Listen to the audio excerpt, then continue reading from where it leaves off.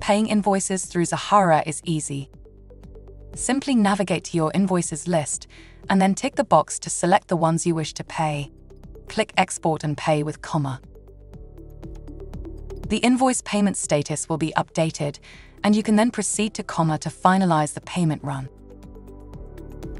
We also update the document history of the invoice giving you audit trail visibility. Paying supplier invoices from Zahara has never been so easy.